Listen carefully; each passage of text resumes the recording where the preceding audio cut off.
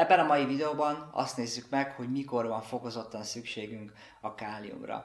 Szeretettel köszöntök mindenkit!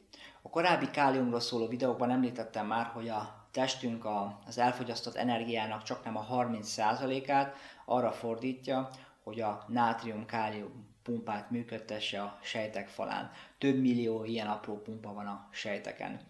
A nátrium-kálium pumpa célja, hogy a sejtjeinknek elektromos töltése legyen, így lényegében a sejtek apró elemekké válnak, a töltés pedig lehetővé teszi, hogy a tápanyagok a sejtekbe be és ki mozogjanak. Tehát ez egy rendkívül fontos funkció, mivel ez azt jelenti, hogy a nátrium-kálium pumpáink állapota határozza meg a sejtjeink egészségi állapotát, tápanyag ellátottságát. A következő fontos feladata a káliumnak, hogy csökkenti az inzulin szükségletet, ami például a cukorbetegeknek vagy a prediabetes állapotában, de mindenki másnak is rendkívül hasznos. Ha van elegendő kálium a szervezetünkben, csökken a cukor, az édesség iránti vágyunk, mivel a káliumnak vércukorszint stabilizáló hatásai is vannak, nem fog ingadozni annyira a vércukrunk. Itt azt is fontos megjegyezni, hogy az inzulinnak köze van a kálium sejtekbe való bejutásához, tehát ha erős inzulin rezisztenciánk van, nem tud rendesen bejutni a kálium, így még több káliumra van szükségünk, elsősorban zöldségekből, ahhoz, hogy javítsunk az állapoton. A kálium következő sokakat érintő pozitív élettani hatását a vérnyomásunk normalizálásában tapasztalhatjuk meg. Magas vérnyomás esetén nem kevesebb nátriumra, azaz nem kevesebb sóra van szükségünk, hanem több káliumra. Ha magas vérnyomásunk van, nagy eséllyel javíthatunk a, az állapoton a napi káliumbevitel növelésével. A Föld lakosságnak lassan a 25%-a magas vérnyomásos, ami nagyban a kevés zöldségfogyasztás miatt van, így ennek következményeként a kevés kálium és magnézium bevitelel is szorosan összefügg a magas vérnyomás. A káliumnak általánosságban vízhajtó hatása van, ugye az orvosok magas vérnyomás esetén vízhajtókat írnak fel, mert nincs elegendő kálium a beteg szervezetében, amely segíthetné a felesleges víz távozását, tehát a kevés kálium miatt kell a gyógyszer ilyenkor.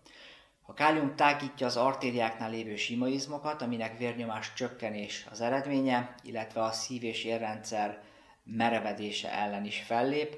Ugye minél merevebbek az artériák, annál inkább nő a vérnyomás. A kálium hatására az agyban lévő artériák károsító hatás nélkül tudják nagyobb nyomás alatt szállítani a vért, illetve a vérrögök kialakulásának lehetősége is csökken, ha van elég kálium a szervezetünkben. Ezek a hatások nagyon hasznosak a stroke és más érkatasztrófák esélyeinek a csökkentéséhez. Reumatoid artritis esetén mindig alacsony a káliumszint, tehát reumás betegeknek szintén ajánlható nagyobb mennyiségű kálium bevitel, akár 4-5 ezer mg per nap.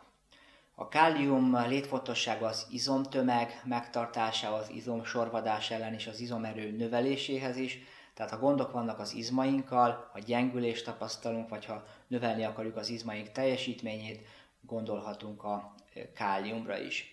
A káliumra szükségünk van a gyomorsav termelődéséhez. Az első videóban említettem már a hidrogén-kálium pumpát, ami a gyomorsavat hozza létre. Ha tartósan alacsony a kálium szintünk, egyre kevesebb gyomorsav termelődik, aminek az lesz a következménye, hogy nem bomlanak le megfelelően az ételek, a fehérjék a gyomorban, így ugye emésztetlenül mennek át a belegbe, ahol rengeteg problémát okoznak. A gyomrunk pH értéke 1-3 között kell legyen, ami nagyon savas, az egyes a sósav, tehát majdnem annyira erős kell legyen, mint a sósav ahhoz, hogy ugye elpusztítsa az ételekkel elfogyasztott kórokozókat, és hogy az ételek megfelelően elő legyenek készítve a beleg számára.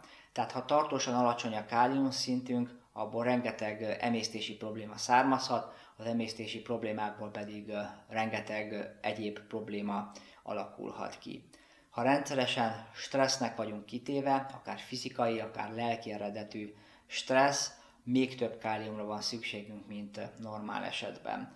A kálium bevitelével a stresszes időszakban csökkenthetjük a stresszből fakadó negatív tüneteket, könnyebben megnyugodhatunk, javíthatunk az alvásunk minőségén. A kálium-nátrium pumpa az idegeknél segíti az idegi impulzusok átvitelét, más szóval a kálium tudatos pótlása segíthet a az idegrendszert érintő problémák tüneteinek csökkentésében is. Ilyen lehet a depresszió, szorongás, memóriazavar, az alvászavar, a hiperaktivitás. A káliumnak a többi ásványanyaggal együtt fontos szerepe van a testünk különböző részeiben, de főként a vérben és a szövetekben a savbázis egyensúly megteremtésében. És az alacsony kálium szint hatására csökken a vesék kálcium újrahasznosító képessége, azaz megnő a vesékben a kálcium szintje, ami ugye a vesekő kialakulásának kockázatát növeli. Ez volt a negyedik káliumról szóló videó, holnap érkezik az ötödik. Ha hasznosnak találtad, ha tetszett, nézd meg a többit is, lájkold, hozd meg másokkal. Jó egészséget kívánok neked, találkozunk a következő videóban, addig is az egészség legyen veled.